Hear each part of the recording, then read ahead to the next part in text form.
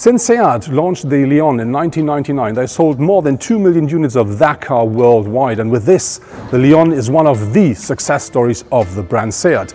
Now they present the fourth generation of the car and we now have a closer look what is new with the new Seat Leon. Looking at the front of the Seat Leon, the car now is 1 meter 80 in width and this is about 17 mil less than the predecessor, but it doesn't look smaller or less wide and there are some good reasons for that. So one is the new grille.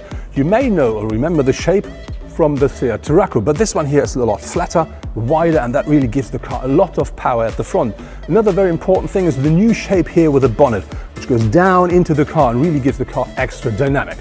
Very important down here, these small bits and pieces you see, they not only work regarding to the aerodynamics, you can also change them easily piece by piece and that makes an accident a lot cheaper because you don't always have to change the whole bumper.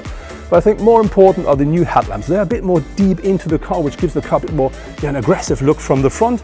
And I think important to know is they always come as standard in LED technology, but you can have a bit more of technique if you want, and that then is called the full LED package.